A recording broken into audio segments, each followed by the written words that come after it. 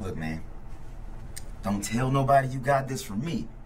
But I have a gift. Present. I, I mean, surely this. You can be a supe for a day with this. Uh, d- no side effects. Nah. No? No. c- Can I choose my power?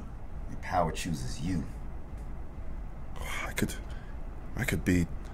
I could. I could be really strong or fast. Not as fast as you, of course. I could have like the the biggest dick on earth. I could.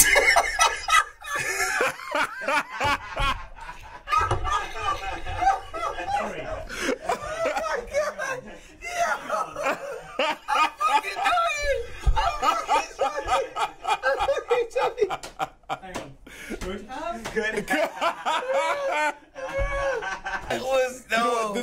I wasn't. I wasn't expecting that at all.